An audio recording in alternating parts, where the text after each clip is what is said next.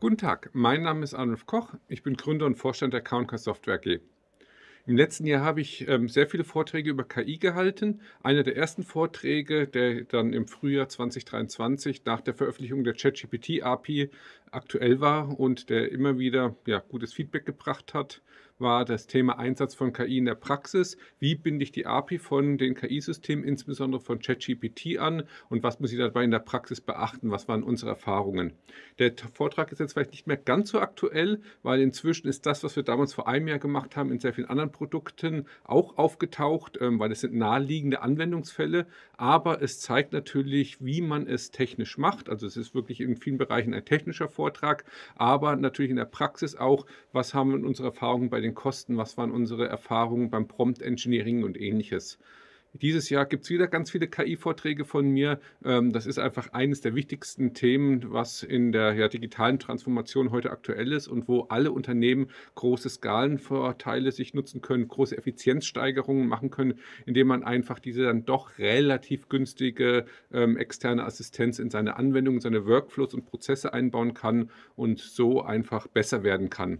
Und deswegen ähm, werde ich den Vortrag vom letzten Jahr jetzt noch einmal als Video einsprechen, dass man ihn dann auch quasi auf YouTube nachhören kann und ist vielleicht eine gute Basis, wenn Sie sich noch nie mit KI-Anbindungen Ihrer eigenen Tools beschäftigt haben, dass man so einen Überblick bekommt. Ist ein bisschen technisch, aber äh, geht es auch nicht absolut in die Tiefe rein. Ja, Sie können einfach in den Kapitelmarken ein bisschen vorspringen und sich das anschauen.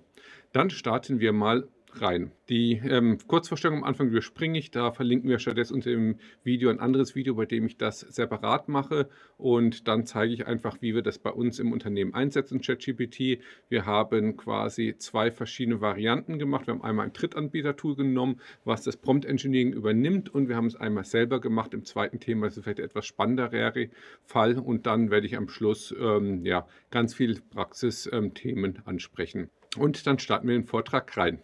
Unser allererstes Thema, mit dem wir uns beschäftigt haben, ist einfach im Marketing. Das ist ja das Spannende an dieser generativen KI, dass sie auf einmal jetzt nicht, sag ich mal, einfache, repetitive Tätigkeiten ersetzt, wie jetzt zum Beispiel ein Roboter in einer, ähm, in einer Fabrik, sondern tatsächlich wird die Wissensarbeit angegriffen oder transformiert ähm, durch die ganzen KI-Systeme. Also jetzt wirklich im Bereich Marketing, im Bereich Journalismus, im Bereich Jura, im Bereich Programmierung, also alles das, was eigentlich so die Königsdisziplinen und auch sehr gut bezahlte Jobs waren, die kann auf einmal eine KI sehr gut machen. Und deswegen war der erste Einsatz, den wir bei uns gemacht haben, dass wir tatsächlich Marketingtexte, Blogposts, wir machen sehr viel ja, SEO oder nicht so SEO-Marketing, sondern Content-Marketing, aber es soll sowohl für SEO, also Suchmaschinenoptimierung, gut ranken, aber auch für die Menschen gut sein.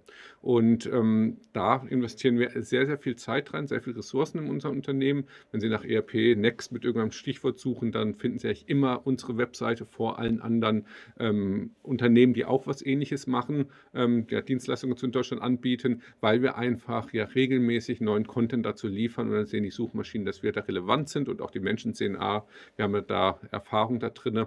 Und das ist dann auch gleich eine Besonderheit natürlich. Ich darf die KI meine Texte nicht schreiben lassen, ich darf wirklich nur helfen lassen dabei, dass nicht das Individuelle vom Unternehmen ähm, verloren geht.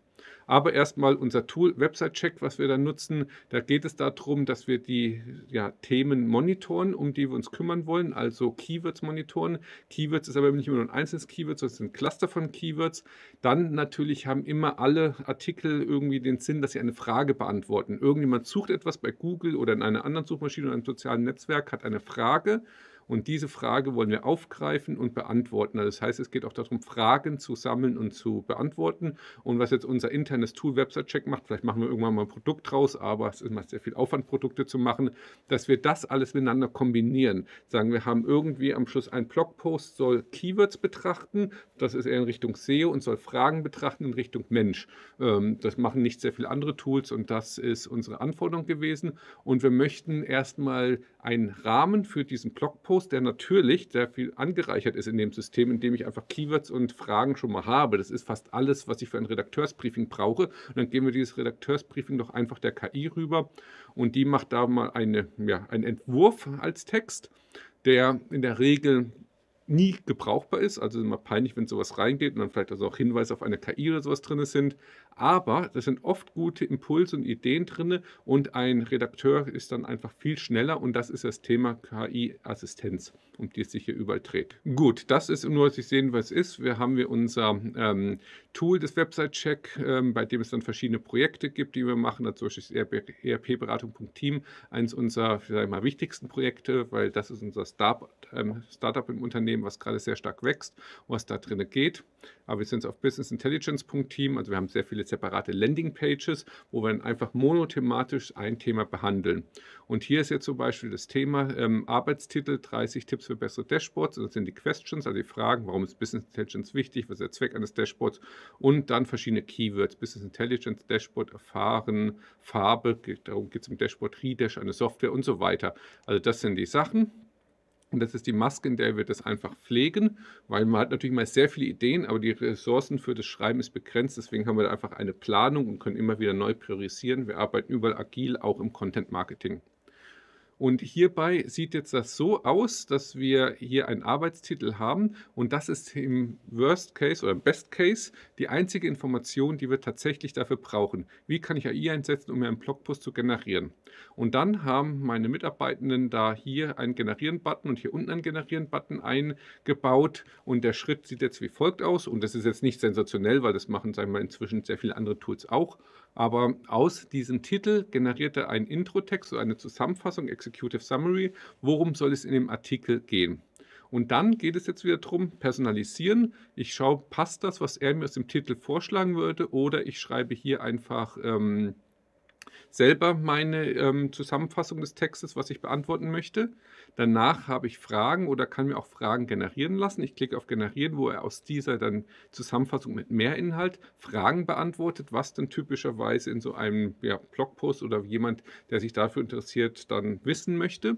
Die kann ich dann auch wieder nach anpassen, die Fragen, die mir die KI generiert hat. Und am Schluss klicke ich oben rechts auf Artikel generieren und dann ähm, dauert es ein bisschen ähm, und dann nach einigen Sekunden kommt dann ein Blogpost von der KI raus, der bereits ein bisschen mit ähm, Markup-Code ist, dass wir ihn theoretisch so jetzt direkt nach WordPress oder ähnliches hernehmen können.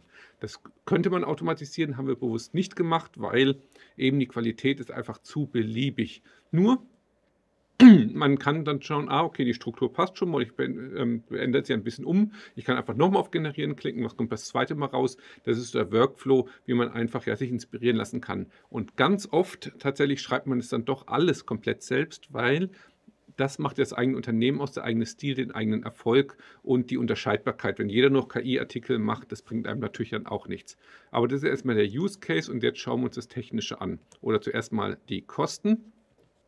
Wenn später drauf aufgehen zwischen den verschiedenen Modellen. Im letzten Jahr war das gerade, als GPT-4 rausgekommen ist, natürlich dann sensationell, welchen Qualitätssprung das gemacht hat. Heute ähm, ist dann vielleicht Claude 3 oder sowas, ein Modell, was noch nicht in Deutschland verfügbar ist, aber in den USA, was nochmal deutlich besser ist als GPT-4. Ähm, das Prompt Engineering wird immer besser. Gleichzeitig aber merkt man auch so diese digitale Demenz, die Modelle, die optimieren ein bisschen die Kosten, weil natürlich das GPT-4 ist um Faktor 1000 mal größer das neuronale Netzwerk als GPT 3.5. 5. Und das macht sie natürlich in dem Stromverbrauch, in der Rechenleistung und ähnliches bemerkbar und dadurch in den Kosten drin. Und da hat jetzt der OpenAI die Modelle ein bisschen, sage ich mal, ja, geschrumpft oder ein bisschen effizienter gemacht, aber dabei hat die Qualität auch wieder nachgelassen weil das ist tatsächlich, was wir uns am Schluss anschauen werden, ein Learning ähm, mit, die, mit, der Qualität ist doch ja, eine große Bandbreite drin. Aber auf jeden Fall, hier wird dann ähm, immer unterschieden, was kostet die verschiedene API. Bei ChatGPT schauen wir uns später im Detail nochmal viel mehr an. Hier haben wir die Sonic API genommen. Das ist ein Dienstleister, der schon perfektes Prompt Engineering für das Thema von Schreiben von Blogartikeln ähm, rein hat, weil wir, wir auch später anschauen, wie wir selber die Prompts machen und wie, sag ich mal, kompliziert das vielleicht sogar ist oder wie auf wie viele Sachen man achten muss, damit das wirklich gut passt. Aber ein erstes Learning ist erstmal, wenn ich die bessere Qualität haben will, dann zahle ich auch erheblich mehr Geld. Nichtsdestotrotz, wenn ich die Qualität brauche und bei Content zum Beispiel brauche ich sie in jedem Fall, dann muss ich eigentlich das bessere Modell nehmen, was einfach teurer ist, aber da investiert halt einfach die KI mehr Rechenzeit rein und kommt auch ein besseres Ergebnis dazu raus. Ob die Preise jetzt heute noch so stimmen, muss man sich jetzt wirklich anschauen in den Preismodellen. Das ist ja auch eine hohe Dynamik drin. Ähm, deswegen der Link unten drunter können Sie sich anschauen.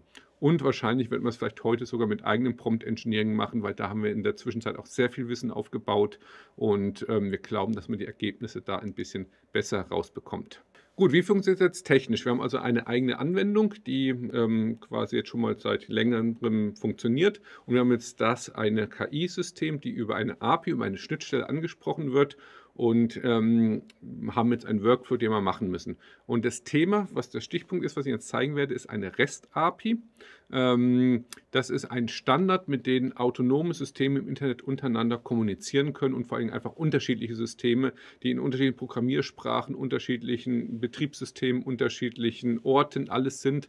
Und das ist einfach ein Standard, ein Industriestandard und den sollten die Personen, die jetzt bei Ihnen Prozesse digitalisieren, einfach beherrschen, weil das ist eine Basistechnologie der neuen ja, KI-Welt, aber es ist eigentlich auch eine Basistechnologie der Digitalisierung überhaupt, weil bei der Digitalisierung geht es ja immer, Systeme zu automatisieren. Dazu müssen sie verbunden werden und da ist einfach REST oder eine REST-API die Basistechnologie, die das macht. Der Workflow habe ich hier gerade beschrieben. Wir gehen einfach das, was wir nach den äh, Buttons immer machen, wird dann zur API geschickt, also an die KI übermittelt und die gibt dann Ergebnisse zurück. Dann wird die optimiert durch den Menschen wieder, dann geht es an die nächste API, wo die Fragen bearbeitet werden und dann habe ich wieder mehr Informationen. Damit wird einfach das Ergebnis der ähm, KI immer wieder besser und am Schluss habe ich einen Vorschlag für einen Blogpost. Gut, jetzt kommen wir mal hin, wie so etwas technisch aussieht. Man kann es in jeder beliebigen Programmiersprache machen. Hier haben wir jetzt C-Sharp, geht aber auch, was ich Python sind oft Anfängersprachen oder JavaScript, ähm, was man mit ähm, diversen Tools auch am Server laufen ähm, lassen kann, wie Node.js oder ähnliches. PHP ist eine klassische Sprache, die auf jedem Webserver, den man im Internet mieten kann, ähm, läuft. Ähm, man kann es in der PowerShell machen, ähm, auf dem Betriebssystem. Also da ist der Kreativität keine Grenzen gesetzt. Und das Spannende ist, ich habe es jetzt mal probiert, ein Projekt nur durch die KI selber generieren zu lassen. Also diesen Programmiercode, den bringt mir die KI auch bei. Und inzwischen ist sie richtig gut beim Programmieren. Vor einem Jahr war ich noch ein bisschen zurückhaltender, da hat die noch zu viele Fehler gemacht. Aber ich habe es jetzt in einem anderen Experiment mal mir so was Komplexes, eine quasi API-Schnittstelle, die dann sogar noch inhaltlich einiges macht, mal komplett durch die KI erstellen lassen. Und das hat am Schluss und auch die Zwischenschritte ähm, sehr gut geklappt und am Schluss war das Ergebnis, also es kommen immer wieder noch kleine Fehler rein, aber kann man der KI sagen, hey, da ist ein Fehler und dann korrigiert sie das. Ich frage mich immer, warum macht sie nicht im ersten Schritt? Nur tatsächlich am Schluss war es ohne Anpassungen möglich, diesen Code zu nehmen, auf dem Webserver laufen zu lassen. Also auch hier kommen jetzt immer mehr Initiativen, muss ich heute noch programmieren lernen oder nicht? Oder reicht die, sag ich mal, die Muttersprache ist die Programmiersprache der Zukunft, wie es ja Microsoft propagiert, die sehr viel in OpenAI und ChatGPT rein investiert haben. Ähm, ich hoffe nicht, weil dann wird unser Geschäftsmodell obsolet und ich glaube es aber auch nicht, weil man muss natürlich das Verständnis haben, dass man weiß, wo man hinschaut, wo sind die Fehler, warum könnte es sein und wenn ich da eine bessere Frage formulieren kann, dann brauche ich dafür einfach ein gewisses Grundverständnis für Programmieren, ähm, damit ich es einfach machen kann, aber dann ist die Kombination Mensch mit KI schon eine tolle Sache und auch da gibt es ja viele Tools. Ich habe erstmal hier angefangen mit White Sonic und nicht mit ChatGPT, weil hier tatsächlich muss ich es von Hand programmieren. Also hier habe ich eine REST-API, ähm, die ich nicht sehr intelligent ansprechen kann, sondern ich baue mir eine Verbindung selber auf, indem ich einen HTTP-Client starte, indem ich dann tatsächlich alles in eine URL reinkodiere, mich um die Authentifizierung mit API-Key und ähnliches mache, um die Serialisierung, also komplexe Daten in eine Liste zu bekommen. Und das sind alles Sachen, die, ähm, sage ich mal, auch besser gehen, wie wir es dann gleich bei ChatGPT nativ sehen werden. Aber deswegen erstmal hier dieses Beispiel. Man hat also eine Verbindung zum Server. Diese Verbindung, die wird asynchron aufgebaut, äh, post-async und mit await. Ähm, wartet er, bis die Daten kommen, weil, das wir uns auch noch später nochmal genauer betrachten, KI ist nicht schnell. Wenn man das einfach ausprobiert online und da seine Fragen stellt, wie langsam der das aufbaut, und das ist nicht, weil es irgendwie spannend machen will, sondern weil es so enorm rechenintensiv ist und dadurch einfach brauchen die diese Zeit. Und genauso schnell oder langsam sind hier diese ähm, Systeme, die es dann automatisieren und über die API rausgeben. Und wenn ich das jetzt, sage ich mal, nicht irgendwie asynchron mache, sondern ich schicke es los und warte, bis die Antwort kommt, dann ist die Anwendung vielleicht eine halbe Minute, vielleicht eine Minute blockiert. Und das will man nicht. Deswegen kann man sich dann auch mal schauen, wie tue ich asynchron Daten ja, hin und her schicken. Ich splitte den Text auch manuell auf ähm, anhand von Zahlenbrüchen oder ähnliches. Ähm, also das sind alles Punkte, um die ich mich hier selber kümmern muss. Und dann habe ich quasi jetzt erstmal die Initialisierung und am Schluss gibt es eine Funktion Generate Content. Das ist die, die jetzt schon ein bisschen mehr hat. Die hat einen Titel, die hat ein Intro, die hat die Selections, das sind die Fragen und die Zwischenüberschriften wandeln wir um in Selektionen da drinnen. Wir sagen, welche Sprache er nehmen soll. Wir sagen die .de, die Quality geht rein und so weiter. Und so schickt man es dann einfach hin und dann kriegt man das Ergebnis entsprechend zurück. Also das ist eine Technologie, die jetzt vielleicht, wenn es noch nie gesehen haben, kryptisch aussieht, wie ich das mache, aber der erste Impuls jetzt wirklich aus diesem Vortrag ist, so etwas müssen Sie sich im Haus aufbauen. Das ist natürlich jetzt unser Geschäftsmodell und ist vielleicht schwierig, wenn ich sage, bauen Sie sich selber Programmierkompetenz auf. Nur ja, man braucht einfach dieses Wissen im Unternehmen in Zukunft, wenn ich das machen will. Ähm, dann wird man, denke ich, trotzdem noch Experten wie uns dazu brauchen oder andere Dienstleister, die dann diese KI-Schnittstellen wirklich bauen und bedienen können oder implementieren können. Aber sie sollten auch ein bisschen wissen, was da passiert und so einfache Aufgaben. Das ist jetzt wirklich ein sehr, sehr einfaches Beispiel, was man hier sieht. Ähm, das sollten sie auch in der Lage sein, dann einfach selber zu bauen oder ihren Mitarbeitenden oder wen auch immer. Und gute Nachricht ist, in der Schule lernt man heute schon relativ gut programmieren. Das ist eine gute Basis, auf der man aufsetzen kann. In Hochschulen sollte es überall dabei sein. Also das ist jetzt keine Raketenwissenschaft mehr.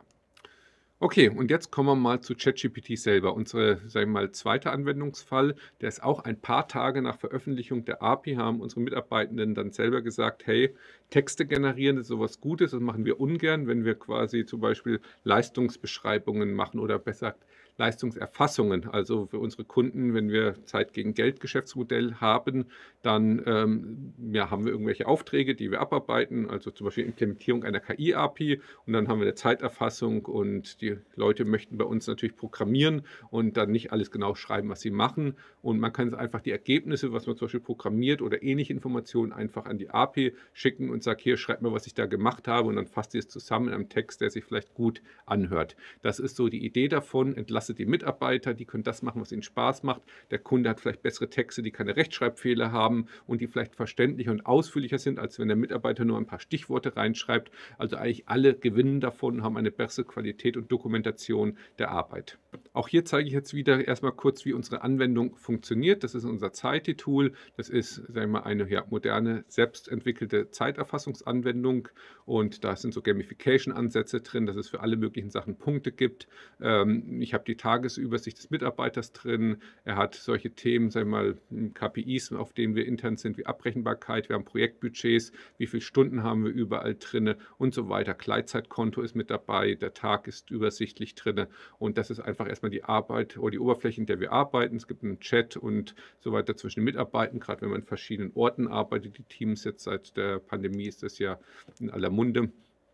Und bei uns, sagen wir, wir haben zwei Bürotage im Monat, also da ist es drin. Ich habe dann irgendwelche Kalenderansichten, sieht ein bisschen ähnlich aus wie Outlook. Man hat Team Zweit drin. Ähm, das ist eine Funktion, dass halt dann einfach zum Beispiel nur einer einträgt für mehrere Menschen. Also wir probieren überall zu optimieren, dass man einfach da sich mit wenig solchen administrativen Aufwand beschäftigt und das auch dann von überall erreichbar ist als Webanwendung und dass man einfach solche Funktionen drin hat.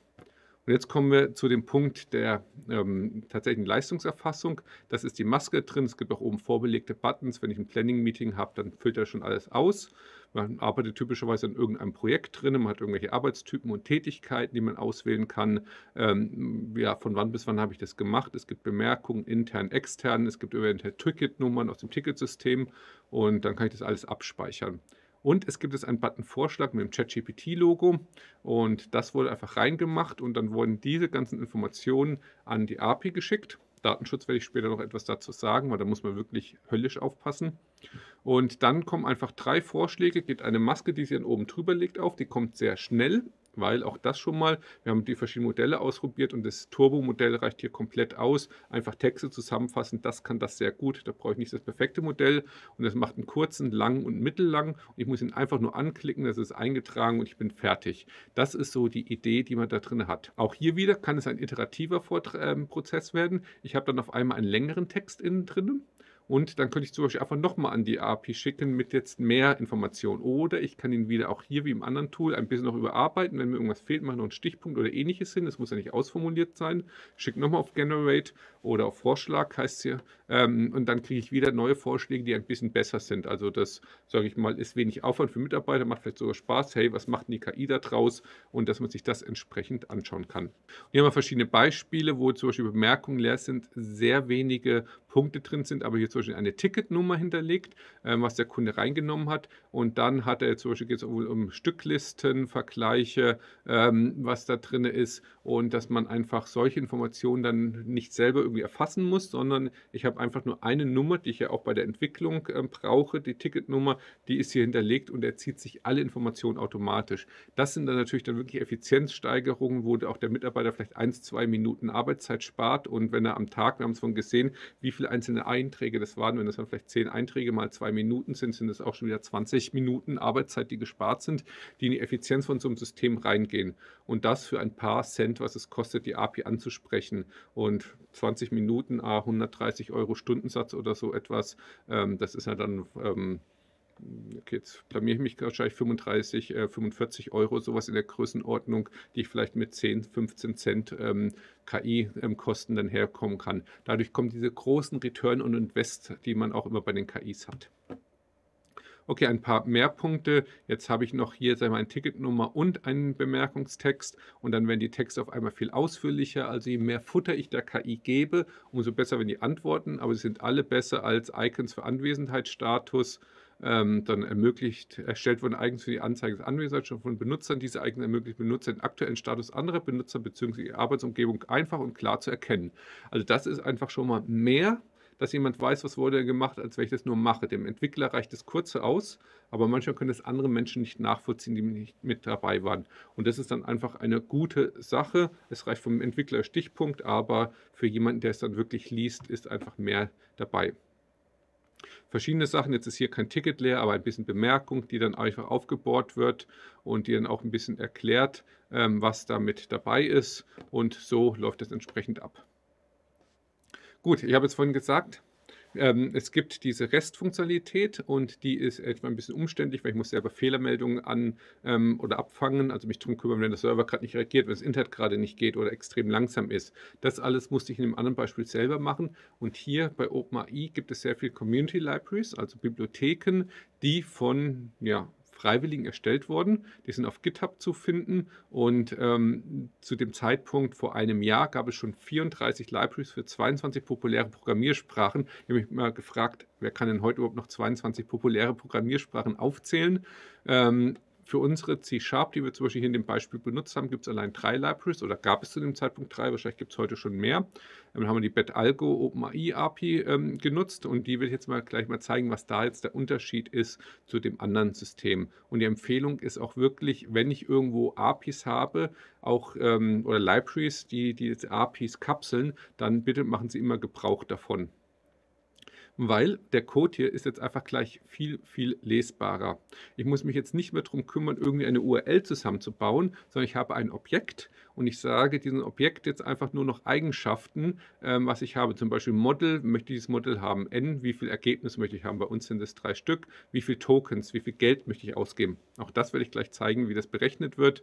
Und dann sage ich einfach nur noch, was ist meine Message vom System, was ist meine Message, die ich habe vom User und vom Assistant. Und das ist auch sehr, sehr spannend, weil nämlich zu dem Zeitpunkt war das volle Potenzial der KI-Systeme nur über die API verfügbar. Und jetzt erst vor ein paar Wochen hat ChatGPT die GPTs gemacht, dass ich eigene GPTs erstellen kann. Und die führen jetzt endlich mal das volle Potenzial ein, dass sie diese verschiedenen Optionen, wie die KI eigentlich intern arbeitet, ermöglichen. Wer nur die Oberfläche hat mit seinem, sagen wir mal, wo man anfängt zu schreiben, der nutzt nur einen Bruchteil des Potenzials, was diese KIs ermöglichen. Und und das hat damals schon die API gemacht und das ist vielleicht auch noch ein guter Impuls. Ich werde gleich erklären, wie das funktioniert und wie die verschiedenen Rollen sind, weil damit holt man das gesamte Potenzial her. Umgedreht bedeutet es aber auch, wenn ich jetzt solche gebraucht habe, um der KI bessere Ergebnisse rauszubringen, kann ich das jetzt einfach mit eigenen GPTs machen, die ich sogar veröffentlichen kann, entweder unternehmensweit oder auf den Marktplätzen, irgendwann auch vielleicht damit sogar Geld verdienen kann. Aber das ist natürlich auch jetzt eine ja, tolle Sache und das ist zum Beispiel ein Inhalt von einem Vortrag, den ich dieses Jahr ähm, halte, wie baue ich eigene GPTs und wie mache ich die einfach so, dass sie eine hohe Effizienz haben und meine Prozesse einfach noch besser machen, weil die KI genau mich und mein Unternehmen kennt und dadurch besser weiß, was ich von ihr erwarte. Und hier musste man das halt einfach noch über die API machen, aber das schauen wir uns jetzt an. Also, hier einfach, man baut sich das zusammen mit relativ einfachen Anweisungen, indem ich die Chat-Message eben hergebe und immer die Rollen sage und dann einfach meinen Text reinnehme. Und am Schluss sieht es so aus, dass ich überprüfe, habe ich zum Beispiel einen Arbeitstyp habe ich ähm, in verschiedenen ähm, Sachen, habe ich zum Beispiel einen Sprint-Backlog-Text, der irgendwo dann herkommt. Also immer die Felder, was drin ist, wenn ich sie habe, immer die if-Anweisung, dann baue es einfach mir auch mit dran. Ich kann mich also rein auf die Business-Logik konzentrieren und nicht eher auf die Logik, wie ich das fremde System anspreche. Ähm, habe ich übergeordnete Arbeitstypen und so weiter. Das sind einfach diese Sachen. Ich baue mir alle Informationen, die ich irgendwo finde, zusammen zu sagen wir, einem längeren Text und den übergebe ich dann einfach an die KI.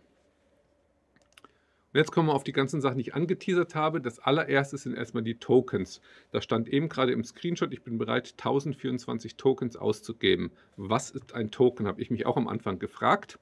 Und ähm, ich würde es so erklären, die KIs tun die Texte in, ja, verarbeiten und das machen sie auf Textbasis und ein Token ist quasi eine Silbe im Englischen. Vielleicht auch ein ganzes Wort, aber es ist, sag ich mal, auch runtergebrochen. Und jedes Token kostet Verarbeitungszeit, Rechenzeit und das wird einfach bezahlt. Und zwar sowohl in der Eingabe, also das, was ich die KI frage, wird in Tokens aufgespaltet und das probiert die KI daraus zu verarbeiten, was will er von mir. Und dann, wenn er das hat, weiß er es und dann überlegt sich eine Antwort und auch die geht raus und das ist auch Text und das sind dann auch wieder Tokens. Und eben stand 1024 Tokens und da ist jetzt hier dieses Beispiel im Englischen, wo alle KIs im Moment optimiert sind.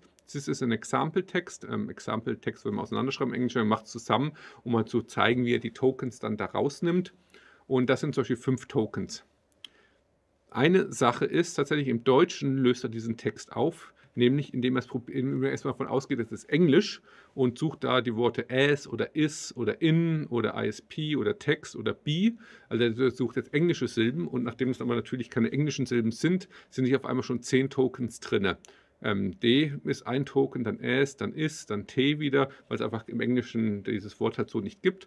Und das ist tatsächlich eine ja auch Erkenntnis, wenn Sie irgendwie die Entscheidung haben, Sie möchten die KI in Deutsch oder in Englisch benutzen, dann nutzen Sie immer in Englisch. Es ist A billiger, B schneller und C die Ergebnisse sind besser. Sie können zum Beispiel ausprobieren, indem Sie einfach mal sich ein Gedicht ausgeben lassen und schreiben ein Gedicht über den Frühling oder write a poem about spring.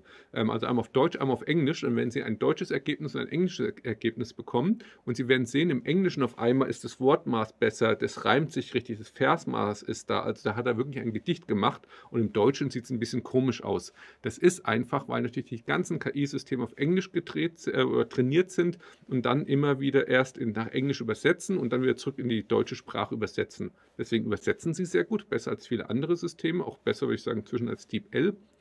Aber eben, hm, es geht jedenfalls der Übersetzung immer sehr viel verloren. Das dritte, neben Eingabe und Ausgabe, was es noch gibt, ist das Training oder Feintuning heißt es in der API. Ich kann dem weiteres Trainingsmaterial geben und auch das muss verarbeitet werden. Wenn ich den 100 Seiten PDF zum Beispiel gebe, dann sind da ganz schön viele Silben drin, wenn das reine Texte ist und das kostet auch. Und das ist auch eine Funktion, die man mit den GPTs äh, zum Beispiel auch in der neuen Oberfläche von den Bezahlaccounts machen können. Wenn die Tokens begrenzt werden, und ich habe aber mehr, die verarbeitet werden, dann bricht er einfach an der Stelle ab, wo die, sag ich mal, erreicht sind. Also ich bekomme dann nicht irgendeine kompaktere Antwort oder ähnliches, sondern gibt die Antwort, die er halt für richtig hält, das KI-System. Ähm, und danach hört es halt einfach auf. Sieht man auch zum Beispiel in der Oberfläche, wenn auf einmal mal Netzwerkprobleme sind oder ähnliches oder sonst irgendwas ihn gerade stört, er bricht er ziemlich häufig einfach ab. Und das macht er eben auch, wenn er dann nicht genug Tokens hat. Umgedreht hat man natürlich selber dadurch eine hohe Kostenkontrolle. Und jetzt ein paar Sachen, was die Kosten sind. Und da sieht man auch, was, warum vorher zum Beispiel ähm, bei Sonic das GPT-4-Modell so viel mehr kostet als 3, weil in der API, und das repräsentiert auch ungefähr die Stromkosten, kostet zum Beispiel das ähm, ChatGPT 3.5 mit 4K Kontext, also 4000 Token Kontext, kostet 0,2 US-Dollar, US-Cent. Ähm, währenddessen das mit zum Beispiel 32.000 Token GPT-4 kostet 12 Cent ähm, pro 1000 Tokens. Ähm, ich spoilere jetzt so viel, weil ich komme gleich dazu, wie unser Prompt aussieht. Man braucht typischerweise für eine Interaktion 1000 Tokens. Das heißt, einmal was zur API schicken, kostet hier vielleicht 0,2 Cent oder 12 Cent. Wenn ich zum Beispiel am Tag ähm, ja, 10 Sachen pro Mitarbeiter mache und da kommen drei oder vier oder fünf Varianten, also vielleicht 50, 60 äh, Geschichten, dann habe ich halt hier 5, 6 Dollar und hier bin ich immer noch im Cent-Bereich da unten. Und das nächste Thema ist, der heißt nicht umsonst Turbo, weil dadurch, dass der ein viel kleineres Modell hat, ist der viel, viel, viel, viel schneller. Und man soll immer über, und muss immer überlegen, welches nutzt man. Das nächste ist noch die Verarbeitung der Eingabe und der Ausgabe ist oft asynchron. Zum Beispiel, ich habe die 12 Cent genommen, aber es ist ein Hauch billiger, weil die Eingabe kostet nur 6 Cent ähm, pro 1000 Tokens, die Ausgabe 12. Einige Modelle, zum Beispiel hier ist es identisch, hier ist es 1 Cent Unterschied, hier ist aber auch 100% Unterschied. Auch beim Training ist das Training billiger als dann, wenn er mit eigenem Material ähm, darauf zugreift. Das sind eben Modelle, die ein Feintuning ermöglichen. Da gibt es verschiedene, einfach auf der OpenAI Pricing-Seite oder ähm, in den Dokumentationen schauen, welche Modelle es gibt. Zum Kontext, wie viel Kontext brauche ich da? Soll ich das oder das nehmen? Zum Beispiel für die Zeiterfassung, ähm, die wir haben, da gebe ich dem einfach einen String hin und erwarte mir eine Antwort da drin. Das sind ähm, in der Regel unter 1000 Tokens. Da reicht ein Modell, was 4000 Token Kontext hat. Der große Erfolg von diesen neuen Modellen ist, dass sie diesen Kontext, also die alte Diskussion mit der KI, sich einfach speichern und nicht einfach nur auf die letzte zurückgreifen, sondern auf die vorletzte, vorvorletzte, vorvorletzte Antwort. Und zwar sowohl das, was der User gesagt hat, als auch das, was die KI gesagt hat. Und das ist einfach der Kontext, den er halt einfach, je größer er ist, umso mehr Kontext sich speichert, aber auch umso mehr generieren kann.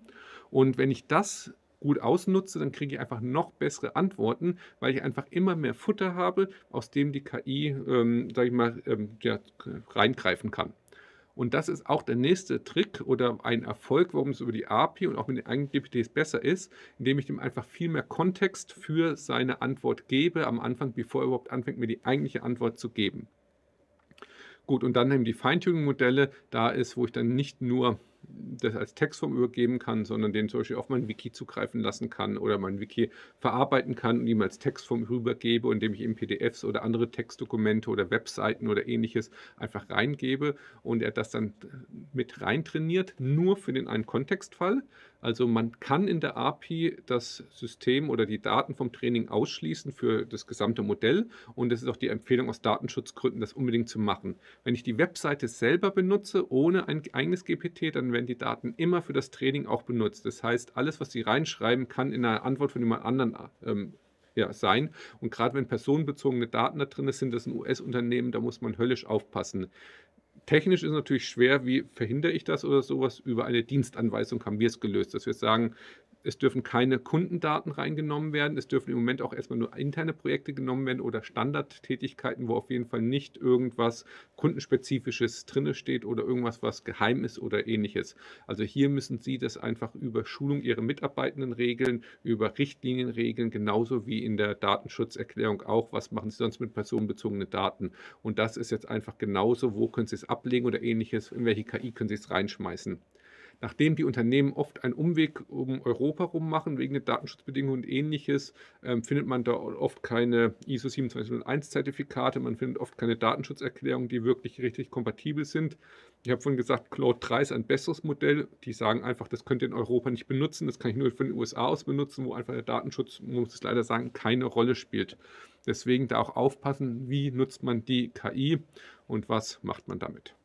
Gut, jetzt Prompt Engineering. Das ist eigentlich die große Kunst und den Skill, den man ähm, erlernen muss.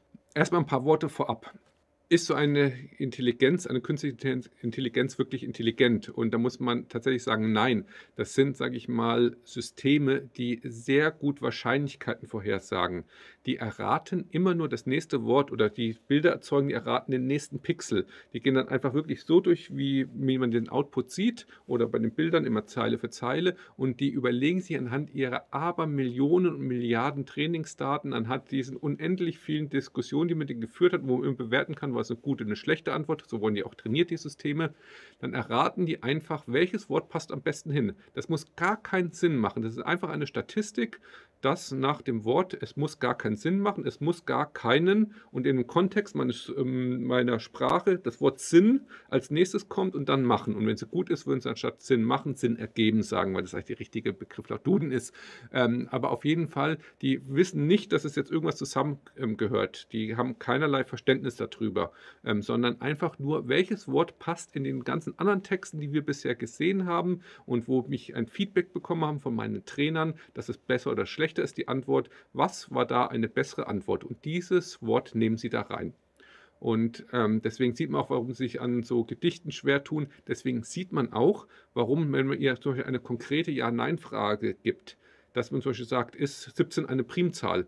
Und dann sagt sie 95 mal ähm, Ja und 5 mal Nein, weil einfach meistens da bei der Frage Ja kommt, aber die hat kein deterministisches System. Die hat kein mathematisches Modell, das diese Antwort in was richtig Logisches umwandelt, wie zum Beispiel andere Systeme wie Wolfram Mathematiker oder sowas machen, ähm, sondern die schaut einfach nur, was, wo findet man im Internet vergleichbare Texte oder den Trainingsdaten, die aber faktisch aus dem Internet und allen Bibliotheken bestehen.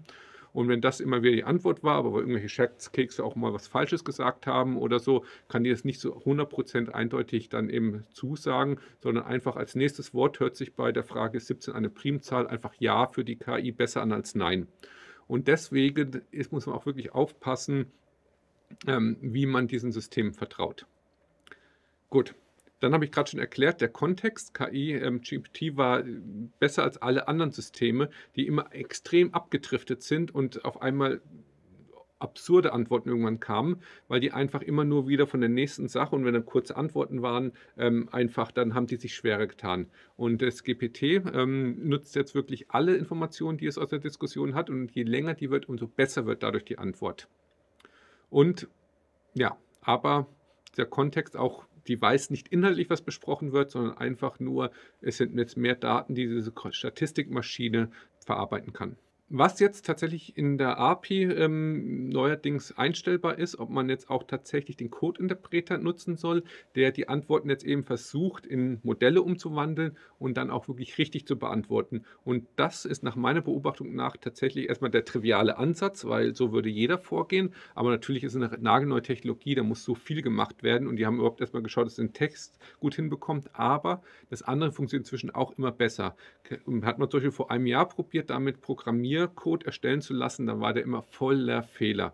Und wo sich jeder Ingenieur denkt, ja, Moment, den musst du doch nur erstmal selber durch den Interpreter schicken, also ihn quasi einmal ausführen, um dann zu schauen, überhaupt läuft er durch oder nicht. Und so etwas machen sie jetzt. Also es sind naheliegende Lösungen, die aber halt einfach eingebaut werden müssen. Und was ist das Ergebnis? Inzwischen kann man das einfach sehr, sehr gut ähm, nutzen. Und jetzt natürlich kommen wir zu dem Thema dieser ähm, Fake-Diskussion, weil wenn je länger man Diskussion ist, umso besser wird meine Antwort. Und ich kann bei der ChatGPT-System kann ich eine Fake-Diskussion starten, dass ich ihm eine Frage oder irgendwie irgendetwas mit ihm spreche und ich ähm, erwarte nicht von ihm die Antwort, sondern ich sage dem System, was wäre die Antwort gewesen, die ich von ihm erwartet hätte. Dann gehe ich wieder in die Diskussion rein und dann vielleicht mache ich nochmal eine oder werfe ihm jetzt den Ball hin und lasse ihn jetzt etwas ähm, sprechen. Und damit nutzt er auch quasi seine Antwort, die aber eigentlich ja von mir vorgegeben war, für die Berechnung seiner nächsten Antwort und wird sich an den Stil orientieren. Und das ist etwas, was eine enorm hohe Qualität der Ergebnisse bringt. Und das werde ich gleich mal zeigen, wie das dann wirklich funktioniert. Wir haben im System gesehen, es gab im From System, From User, From Assistant. Und warum gebe ich dem, sage ich mal, From Assistant? Das ist quasi ja, was sagt mir der Assistent, das ist das ChatGPT-System was gibt mir das als Antwort? Und die gebe ich ihm aber. Das hört sich ja komisch an, aber es ist genau dieses Ping-Pong-Spiel, was ich habe. Ich kann dem einfach beliebig lange eine Diskussion simulieren, nämlich einfach User hat das gesagt, Assistant hat das gesagt, habe ich wir das, er das, ich das, ich das und jetzt bist du dran. So läuft dieses System ab. Das sollte man Minimum einmal durchlaufen lassen oder einfach mehrfach. Und das nächste natürlich ist drin, dass ich nochmal einen anderen Kontext habe, weil wenn ich mit dem System sage, okay, du bist jetzt ein guter Marketing-Texter ähm, und du wirst das und das machen, das ist ja eigentlich nicht meine Diskussion damit, sondern es ist, indem ich ihm erstmal sage, in welcher Rahmenbedingung bist du aktiv, wie arbeitest du und dafür gibt es einen weiteren Input, das ist eben dieses From System und da sage ich ihm von außen betrachtet, in welcher Rolle er sich einfach befindet. Und das sind jetzt einfach drei Parameter, mit der man auf einmal ein System viel genauer modellieren kann, als wenn ich einfach nur meine eine Chat-Eingabe habe.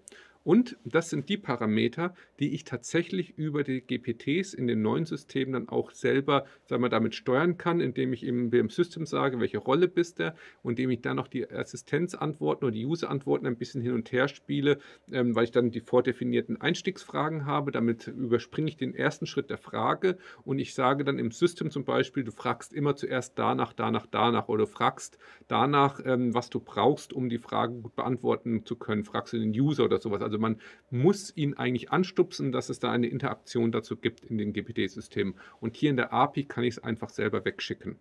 Und genau, die erste und letzte Anweisung muss immer der User sein, damit ich wirklich das Ping-Pong habe, User Assistent, User Assistent, User Assistent, aber nicht am Schluss Assistent, weil wo soll er weitermachen, sondern am Schluss wieder der User spricht mit ihm und dann antwortet der Assistent wieder. Und dann kann ich auch immer gleich über die API, wir haben es vorhin gesehen, es kommen drei Sachen raus. Ich sage einfach, n ist gleich drei, drei Antworten möchte ich haben, können auch fünf, vier, eine oder sowas geben. Aber auch hier sieht man natürlich, ich erwische mich immer sehr oft dabei, ich sage mir, das ist mein Text, den ich schreiben will, will durch eine E-Mail, generiere mal drei mögliche Ausformulierungen oder sowas. Man ist immer als Mensch besser und die KI ist ja, woher soll die beim ersten das Beste treffen, ähm, sondern man, man lässt sie am besten mehrere Antworten machen, zeigt sie irgendwie parallel an und dann pickt man sich schnell die beste raus. Auch das ist eine Effizienzsteigerung da drin. Dazu gibt es den Parameter der Entropie oder der Temperatur, wie hot oder cold soll die sein. Und das ähm, hat noch jemand gesagt, ja, wenn ich das auf hot stelle, wird die Antwort besser. Nee, die wird nicht besser, sondern einfach die Antworten unterscheiden sich stärker. Und jetzt ist diese Entropie wie, sage ich mal, kreativ oder wie ähm, wild dann die KI dann aktiv wird, ähm, das sollte man tatsächlich nutzen, dass die, wenn ich sage, der soll die Entropie null machen, dann kommt irgendwie mehrmals die gleiche Antwort raus. Das will man in der Regel nicht haben, sondern auch da sind die so erfolgreich und fühlen sich stärker an wie eine echte Antwort von einem Mensch, weil die eben erstmal eine sehr hohe Grundentropie haben. Also wenn ich die KI fünfmal das gleiche frage, dann soll auch immer wieder eine unterschiedliche Antwort kommen. Und deswegen ist die KI so schlecht, wenn ich die fünfmal eine objektive Ja-Nein-Frage oder sowas gebe, weil eigentlich möchte sie, um sich wie ein Mensch anzuhören, jedes Mal eine andere Antwort geben geben. Und das sind einfach alles so Zielkonflikte, die da drin sind und die der Bediener einfach ja wissen muss, wenn er so etwas macht. Generell, ich habe mal einen Vortrag gehalten, wie das überhaupt technisch funktioniert, die KI. Die wurde ja wirklich äh, ja, trainiert oder aufgebaut, wie, ähm, indem analysiert wurde, wie ein menschliches Baby lernt, wie dann das Vorschulkind lernt, wie das in der Schule lernt und hat einfach das auf so ein neuronales Netzwerk angewandt. Und vor zwei Jahren hätte ich noch gesagt, das schaffen die niemals. Da war ich eher pessimistisch mit der KI. Ich muss anerkennen, dass dadurch dass sie jetzt wirklich so vorgehen, wie ein Mensch lernt, auch wirklich sowas wie Kreativität eigentlich bekommen, auch wenn es so statistische Modelle sind. Weil man kann natürlich schauen, was mache ich jetzt? Man sucht ja auch ständig im Kopf immer das nächste Wort oder es liegt einfach auf der Zunge, aber das gibt einem das Gehirn ja auch irgendwie vor, was jetzt einfach da am besten reinpasst. Und gerade wenn man Leerzeiten überbrückt oder ein bisschen improvisieren muss, dann ist es genauso, dass man irgendwie sinnlos was schwafelt und ähm, da rauskommt. Also es sind schon sehr viele Ähnlichkeiten da drin. Und deswegen sage ich mal, ist es ja wirklich ein spannendes Feld.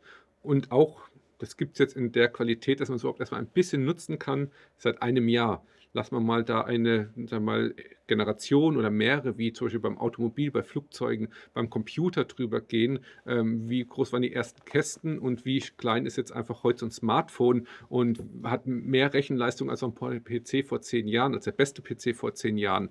Also das ist einfach, muss man jetzt auch immer schauen. Wir sehen jetzt das erste, sagen wir, die erste Motorkutsche oder den ersten 286er ähm, PC ähm, und die sind schon so gut, wie wird das erst sein in zehn Jahren oder sowas. Deswegen tatsächlich Ethik von KI oder sowas sind auch sehr, sehr spannende Themen.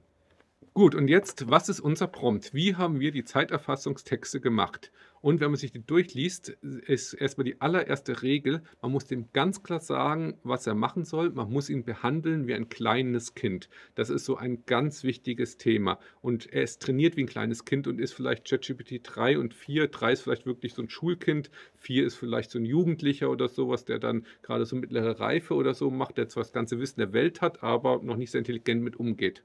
Ein Benchmark ist ja, jetzt sollen sie als nächstes Hochschulzulassungsprüfungen bestehen, dass sie da wirklich exakte Angaben geben können und halt einfach das Alter der Person, die sie simulieren können, wird einfach immer älter. Das ist, sage ich mal, so der Hintergrund damit. Und jetzt muss man sich aber sagen, im Moment rede ich noch mit einem pubertierenden Jugendlichen oder vielleicht mit einem Kind oder sowas.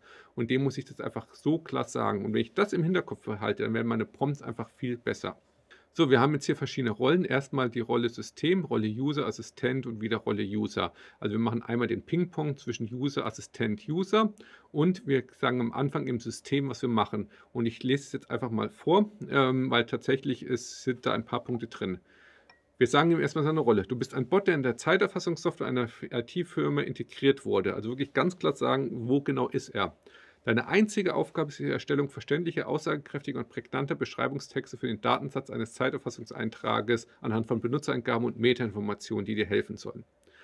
Dann, dein Text darf niemals formatiert sein, keine Stichpunkte, sondern ausformulierte Sätze haben dürfen, ähm, sage ich mal, sag auf keinen Fall, dass du ein Bot oder eine Assistenz bist. Man kann es einfach googeln. Leider kann ich als künstliche Assistenz oder ähnliches keine Sachen machen. Also es gibt also Texte, die immer drin vorkommen und es finden auf einmal ganz viel Blogposts, weil die Leute ihm einfach nicht sagen, hey, du darfst nicht sagen, dass du ein Bot bist, sondern entschuldige ich auf keinen Fall.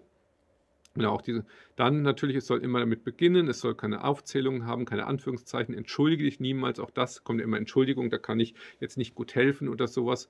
Du darfst auf keinen Fall irgendwelche Uhrzeiten erfinden, es gibt eine Zeiterfassung, es sollen unsere Uhrzeiten natürlich gelten, ähm, weil das System erfindet alles. Wenn ich ihm eine wissenschaftliche Arbeit schreiben lasse, dann erfindet mir die, die, ähm, der Bot die ähm, zitierten Papers und er erfindet einfach alles, weil er einfach nur ähm, statistische Wörter macht, wie sowas halt typischerweise aussieht. Er weiß ja nichts. Und wenn ich jetzt hier ihm das so sage, was er eben nicht machen soll, dann hält er sich typischerweise da dran. Und er findet dann einfach keine Uhrzeiten, sondern lässt das Thema zum Beispiel einfach weg.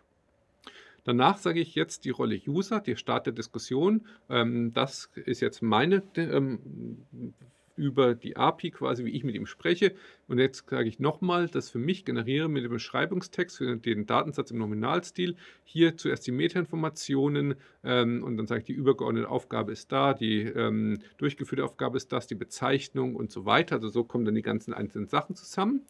Und jetzt sage ich ihm einfach einen kurzen Satz, aber kurz prägnant, ähm, wie soll ich die Ausgabe gestalten. Er soll mir nicht viel schwafeln oder sowas, also was machen. Und dann äh, habe ich, sage ich ihm den nächsten Teil meiner Frage. Ich habe eigentlich meine Frage aufgesplittet in mehrere. Bitte verbessere diesen Textschnipsel zu einem ausformulierten, prägnanten Beschreibungstext, damit ähm, für den Kunden, damit er die Arbeit besser verstehen kann und so weiter. Stelle keine Rückfragen und dann gebe ich ihm Text rüber. Oder wenn ich gar keinen Text habe, erstelle einen verständlichen Beschreibungstext und so weiter. Und wenn man das jetzt einfach mal durch diese Preisliste, dieser Tokenberechner ist auf der Seite drauf von ChatGPT, kann man das reinladen. Ich habe den Text reingeladen. Das sind bereits über 700 Tokens. Ähm, klar, wenn ich die US-Silben schaue, dann ist er einfach ein langer Text. Aber diesen Text brauche ich, damit ich da ein gutes Ergebnis bekomme. Und wenn ich jetzt noch drei Antworten bekomme, die dann auch vielleicht ein Drittel davon sind, dann bin ich halt sofort bei über 1000 Tokens. Also das ist tatsächlich deswegen mein nächster Hinweis, wenn ich so etwas mache, 1000 Tokens, dann eine Interaktion sofort. Und wenn ich dem jetzt mehr Informationen gebe, ist auch sehr viel schnell sehr viel teurer damit.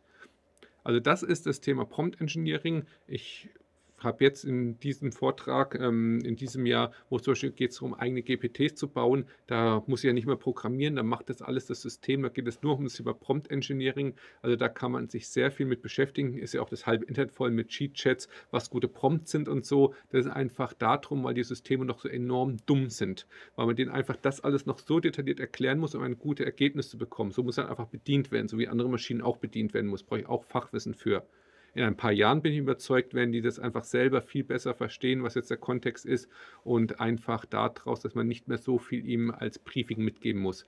Aber im Moment einfach brauche ich das, damit aus diesem Wahrscheinlichkeitsgenerator ein gutes Ergebnis mit rauskommt. Gut, und damit ähm, bin ich jetzt schon auf der letzten Folie und möchte noch mal ein paar Gedanken mitgeben. Wir haben hier gerade ein paar ja, Zielkonflikte. Der erste Zielkonflikt ist die Nachhaltigkeit. Wir schreiben uns auf die Fahne, ein nachhaltiges Unternehmen zu sein, haben schon sehr lange nur 100% Ökostrom, ähm, haben jetzt einen Speicher im Keller stehen, wollen also Energie sparen. Und dann setzen wir auf einmal KI ein.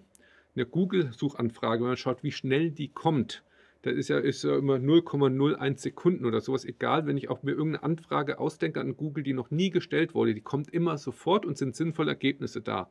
Und wenn ich so etwas an eine KI schicke, dann kommt das halt einfach erst nach 20, 30 Sekunden. Und so lange rechnet der auch einfach. So lange verbraucht der Strom. Und bei Google mache ich eine Datenbankabfrage, eigentlich eine, eine absolut optimierte Datenbank.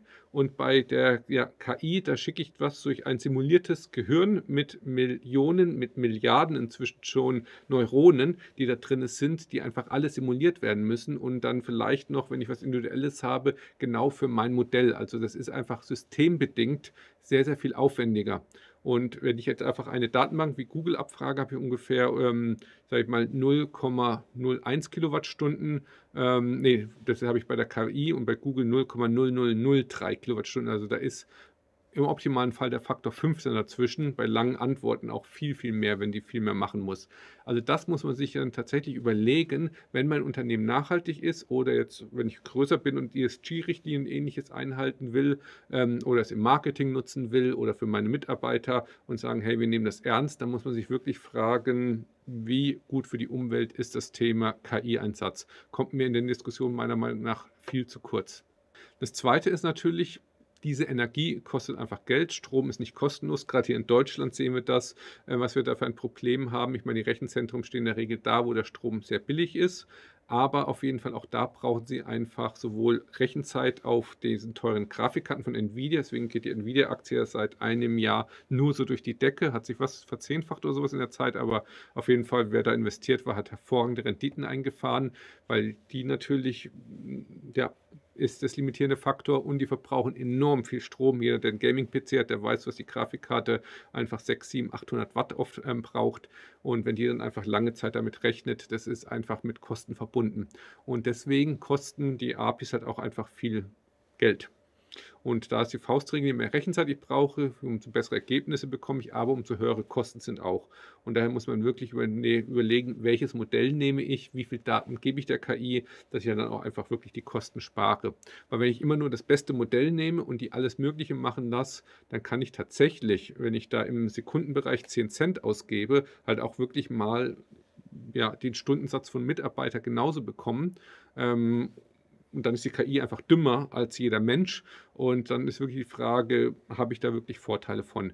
Im Moment ist da aber Milliarden an Investorengeldern drin in den Systemen. Das sind mit, mit Sicherheit noch keine deckenden Kosten. Jetzt werden Claims abgesteckt, die Marktanteile werden gesichert ähm, und dann irgendwann wird man ja zeitgemäße Kosten haben. Man sieht ja, wie viel Gewinne Nvidia macht und ähm, diese Gewinne, die Nvidia macht, müssten ja irgendwie die Umsätze von OpenAI und ähnlichen Unternehmen sein, was sie aber noch nicht sind, sondern da hat Microsoft so viele Milliarden reingesteckt, andere stecken Milliarden rein, die zahlen das gerade alles. Irgendwann jeder, der jetzt in der Cloud ist, bei Microsoft, bei AWS ähnliches oder Microsoft 365 hat, der sieht ja gerade, was ich da für Kostensteigerungen habe.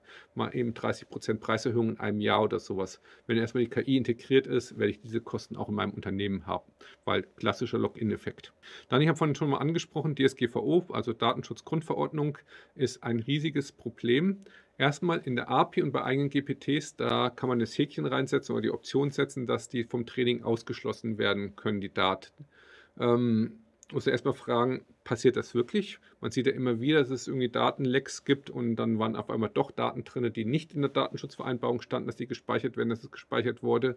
Ist die Frage an amerikanischer Konzern, der halt vielleicht auch von Geheimdiensten oder vom Gesetzgeber, ähm, sagen wir mal, gezwungen wird, dass er sagen wir Daten ihrer Nutzer speichert. Und das nächste ist natürlich, es muss trotzdem mehr verarbeitet werden. Also auch hier werden Daten in einem IT-System, in einem extrem komplexen IT-System, wo die Verarbeitung oft sogar nicht nachvollzogen werden kann, auch für Fachleute nicht, wenn sie verarbeitet. Also das muss man beachten, wie man damit umgeht.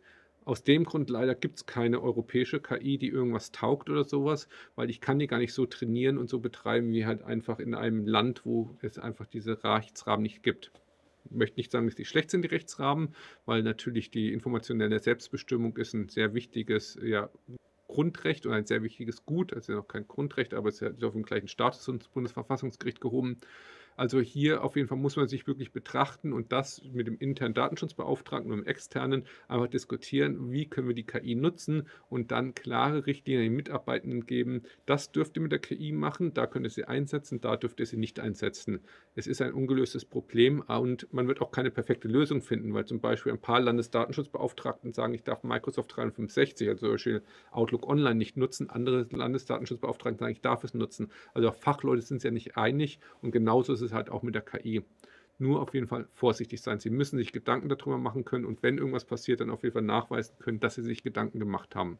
Antwortzeit betrachten, das ist auch ein sehr wichtiges Thema. Wenn ich wirklich komplexe Anfragen an den umfangreichsten GPT-4-Modell schicke, ähm, dann kann es wirklich mal eine Minute oder länger dauern, bis die Antwort kommt. Ähm, deswegen immer abwägen, kann ich das schnellere Modell nutzen und es ist viel billiger und verbraucht weniger Strom kann ich die Antwort vielleicht einkürzen. Ansonsten die Anwendung und das Modell im Workflow so gestalten, dass die Antwort auch einfach seine Zeit hat. Dass also jetzt nicht irgendwie eine Anwendung oder Benutzer für eine Minute blockiert ist, in der das äh, Modell arbeitet, weil dann darf ich zu den 12 ähm, Cent, die das GPT-4 kostet, halt vielleicht noch die eine Minute, ähm, die dann vielleicht ein Euro kostet oder sowas vom Mitarbeiter einplanen, dann kostet auf einmal 1 Euro ähm, 12 anstatt 12 Cent. Also das sind auch wirklich Kosten und ja, Frustration, wenn ich auf die Systeme warten muss. Also das immer machen und technisch gesehen ist Async das Stichwort, dass ich dann eben einfach nicht blockierend mit der API spreche.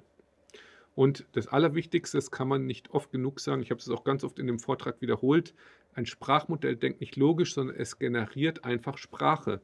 Es prappelt vor sich hin. Und nachdem die Algorithmen sehr gut sind und das neuronale Netzwerk sehr gut verdrahtet ist, hört sich das meistens sehr gut an. Aber man kann die immer wieder auch mit Eingaben bringen, wo einfach nichts Sinnvolles dabei rauskommt. Und es gibt andere Systeme, die halt einfach eine echte Simulation machen, die die Eingabe in ein mathematisches Modell umwandeln. Zum Beispiel an der Uni haben wir mit Wolfram Mathematiker viel gearbeitet, das ist jetzt unter wolfram.com oder wo auch immer auf jeden Fall, das gibt es auch online. Und das verarbeitet auch den Text, aber tut es immer in eine mathematische Formel umwandeln und gibt ein exaktes Ergebnis raus. Und Sprachmodell eben nicht. Es errät immer. Und das müssen Sie sich wirklich im Kopf behalten. Was auch immer Sie machen mit KI-Systemen, mit Machine Learning, da kriegen Sie einfach ein gutes statistisches Modell, das einfach ja, Vorhersagen macht, was bei dem Input jetzt der erwartete Output einfach wäre. Man sieht ja schon in den ganzen Texten, dass gute Ergebnisse bei rauskommen, aber man darf ja nicht drauf verlassen, wenn ich zum Beispiel meinen Vertrag oder so etwas damit analysieren lasse. Meistens ist es sehr gut, aber manchmal, in wenigen Fällen, kommt auch absoluter Schmann raus. Daran arbeiten die Forscher, dass es in Zukunft immer weniger wird, aber es ist etwas Systembedingtes. Solange ich halt einfach für unsere komplexe Welt kein Simulationsmodell habe, was das Exakte simulieren kann. Bei Sprache, was soll da exakt sein?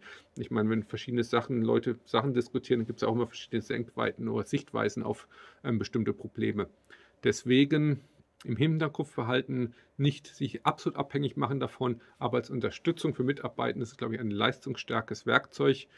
Dadurch, dass es quasi das gesamte Wissen der Welt irgendwie schon mit drinne verarbeitet hat, kann man einfach ja zu einem geringen Preis ein Top-Mitarbeiterassistenten seinen Mitarbeitenden an den, an den Hand geben, zur Seite stellen und dafür sollte man es nutzen. Und die Anbindung per API macht es einfach automatisch, dass ich dann nicht mit der System über Chat kommunizieren kann, sondern es einfach in meine Systeme einbauen, kommen, äh, einbauen kann und ich kriege einfach eine perfekte eine Unterstützungsantwort einfach mit auf dem Bildschirm, ohne dass der Mitarbeiter dann viel dafür tun muss oder irgendwas dafür eintippen muss. Das ist so eine gute Digitalisierung von Prozessen. Und damit wäre ich am Ende von dem Vortrag. Ich hoffe, es war interessant. Fragen gerne ähm, ja in die Kommentare rein unter dem Video oder mit uns Kontakt aufnehmen, wenn Sie entweder selber in Ihre Prozesse zum Beispiel ähm, eine KI eingebunden haben möchten. Das ist etwas, was wir gerade sehr, sehr oft machen, dass wir einen Workshop machen, wo könnte man es gut machen, welche Ergebnisse sind zu erwarten und es dann einfach als Prototyp umsetzen und dann in den Produktivbetrieb reinbringen oder aber einfach auch, ähm, sage ich mal, Wissen über KI selber. Da kommt sogar ich selber persönlich dann sehr viel zum Einsatz in diesen Workshops, ähm, dass man einfach da drin schaut, dieses Wissen in die Unternehmen, in den Mittelstand reinbekommt, wo es jetzt noch nicht drin ist. Das war's. Ähm, ja, toll, wenn Sie bis jetzt noch dabei waren. Auf jeden Fall, ich freue mich, Sie dann vielleicht kennenzulernen, irgendwann mal persönlich. Bis dahin, auf Wiederschauen.